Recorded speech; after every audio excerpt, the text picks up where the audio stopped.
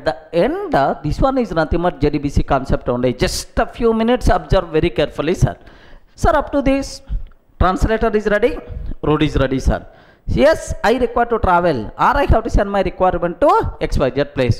What is the next thing we require to talk about? Okay, compulsory, some vehicle must be required. Regarding I want to reach, eh, I want I want to send my requirement to XYZ place. I want to bring the results from XYZ place to Ameerpet. Compulsory some vehicle must be required. That's why I arranged one vehicle also. Getting right? This is the third activity what I did, sir. I arranged one vehicle also. Now, sir, by using this vehicle, I can send my requirement to XYZ place. Aragane boss, I want uh, 10 kgs gold and 10 diamonds. uh, like I send my requirement to, I send my requirement to XYZ place.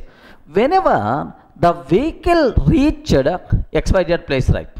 Whenever the vehicle reached XYZ place, immediately XYZ place people can able to understand what our requirement, okay, what they will do, the required gold and diamonds, uh, they will keep inside a box. They will keep inside a box, okay, sir, that box they will place in the vehicle.